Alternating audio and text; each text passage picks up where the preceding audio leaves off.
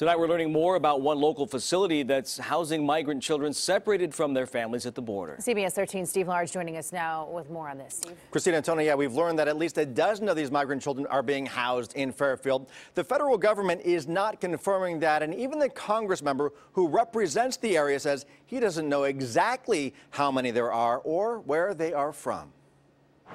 CBS 13 has learned this Fairfield building is home to a care facility housing migrant children detained and separated from their families at the border. The facility, run by a nonprofit called BCFS, has a website that touts 70 years of experience caring for at risk populations and partnerships with a number of government agencies, including the U.S. Department of Health and Human Services.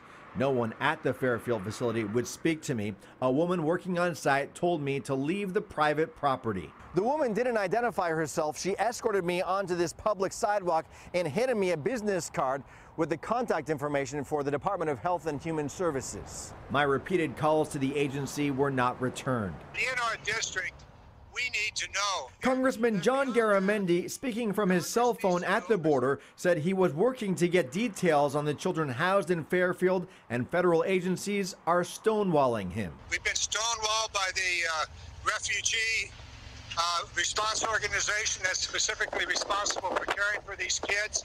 Very, very little information from ICE and from the Border Patrol. Garamendi is scheduled to tour a Texas border detention facility Saturday.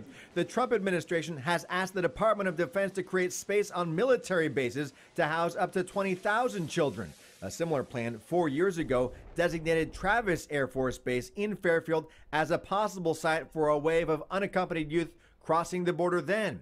It was never used. I think if it's on a military base, we have a much better chance of knowing who is there now, as we mentioned, CBS News is reporting that children separated from their families who are still at the border have been reunited tonight. For the children who have been transported to facilities all across the country, like the one here in Fairfield, the timeline and process for getting them back to their parents is still unknown. Still lots of confusion and questions, no doubt. Those are the key words. Let's talk about another trip to the border now. U.S. Senator and